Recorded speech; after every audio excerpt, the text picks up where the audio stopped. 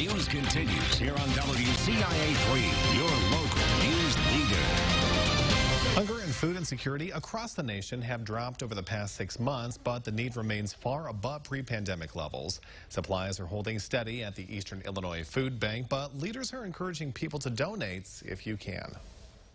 So we know that there's national supply chain issues and that um, they're affecting food banks nationwide. We've been pretty fortunate here in that we haven't seen a lot of that yet.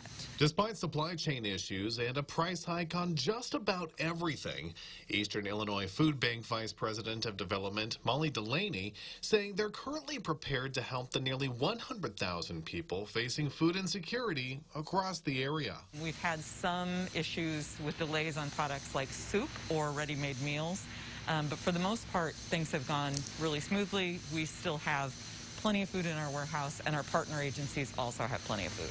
Eastern Illinois Food Bank broke records last year, distributing 11.7 million pounds of food and serving more than 350,000 people. Delaney says people on fixed incomes are feeling the pinch the very most right now. And even though their warehouse is stocked, she encourages people to donate if they can, especially ahead of the holidays. When you want to be able to help, but you feel kind of powerless, you don't know what to do, um, we can help make that transition for you. So by donating to us, we can help you help your neighbors.